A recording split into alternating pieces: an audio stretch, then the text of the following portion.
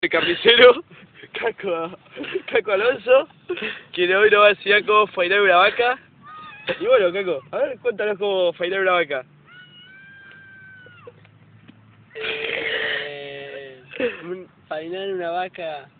No sé fainar una vaca, boludo.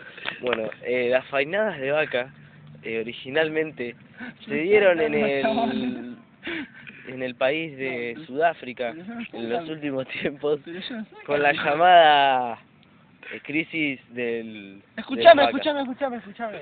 Y otra pregunta, ¿es verdad que usted empezó a fainar vaca robando en bicicleta? Sí, bueno, eh, la, la bicicleta, bueno, eh, acá tenemos la demostración de que la bicicleta está. Eh, bueno, esta era la bicicleta.